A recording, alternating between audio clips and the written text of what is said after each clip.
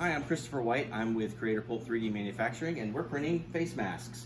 Uh, medical professionals out there are running very low, and we want to try to do what we can to help out. So we obviously have a considerable number of shells here that we've 3D printed, and we're printing another 48 every day.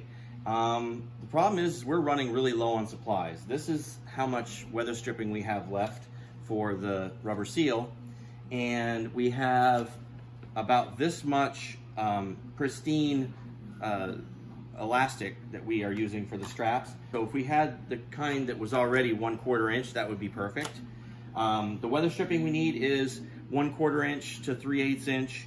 Uh, it needs to be sticky on one side and um, you know the more of it we can get the better because as you can see we have a ton of uh, filter material. Uh, we have enough to do the filters for quite a while but we need elastic and we need uh, the foam. Plus, we are also running very low on PLA plastic, 1.75 millimeter PLA plastic. This is a perfect example of the kind we need, all right?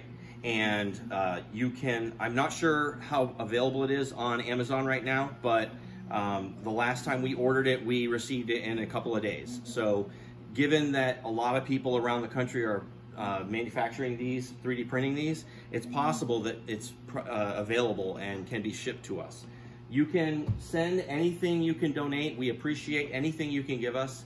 Um, you can send it to Creatorpult, uh, 143 Essex Street, Suite 211.